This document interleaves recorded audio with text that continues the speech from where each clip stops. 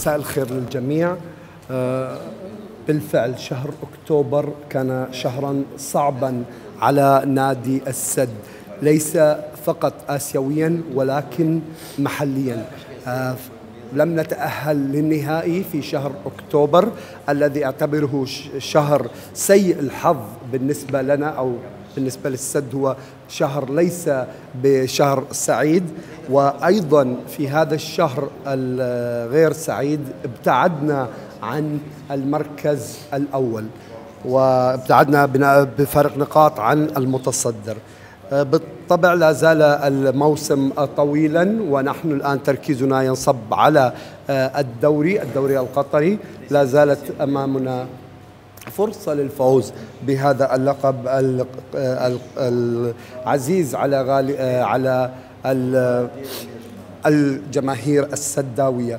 مباراتنا أمام أم صلال لن تكون بالسهلة ولكن آه، أتمنى أن نرى في مباراة الغد أن نرى ذلك السد الفريق السعيد السد الذي يمتع الجماهير السد الذي يسجل الأهداف ولا يتلقى الأهداف. هذا ما أود وأسعى إلى رؤيته في مباراتنا أمام أم صلال. والله عن مباراة أم صلال يعني أم صلال فريق مو بسهل. عندهم فريق آه، هجوم قوي. فأنا نحاول إن شاء الله إن إحنا ما نستقبل ولا هدف إن شاء الله ونطلع بالمباراة بفوز. خصوصا إن هذه المباراة مهمة لنا ان ضيعنا خمس نقاط في آخر مباراتين. فنحاول إن شاء الله إن إحنا نأخذ ثلاث نقاط وإن شاء الله نبدأ بداية جديدة إن شاء الله في الدوري.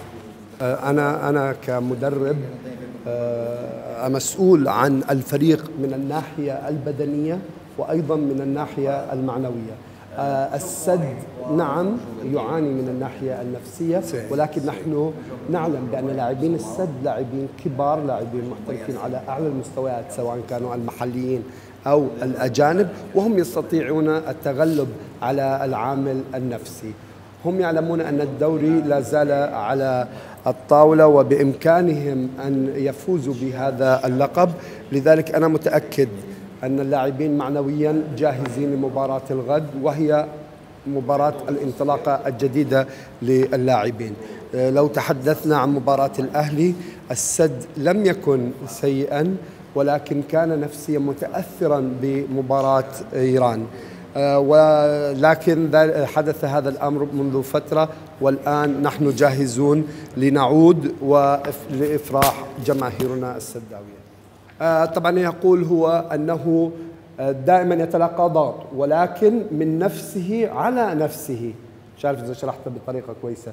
يعني الضغط الأول الذي يعاني منه المدرب جوزفالدو فيهيرا يكون من جوزفالدو فيهيرا. هو من يضع الضغط على نفسه.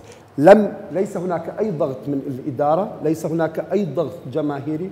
لذلك هو يشعر بالحزن والأسى للنتائج التي يحققها فريق السد.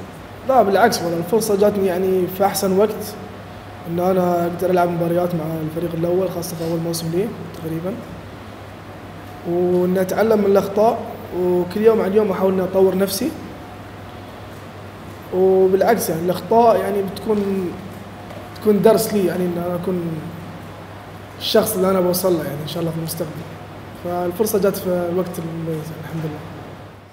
المدرب حب يعقب على آه، آه، سؤالك لمشعل وقال مشعل آه، لاعب لديه إمكانيات كبيرة وأتوقع له أن يكون من أحد أفضل الحراس في الدوري القطري وانضمامه إلى المنتخب في وقت قريب.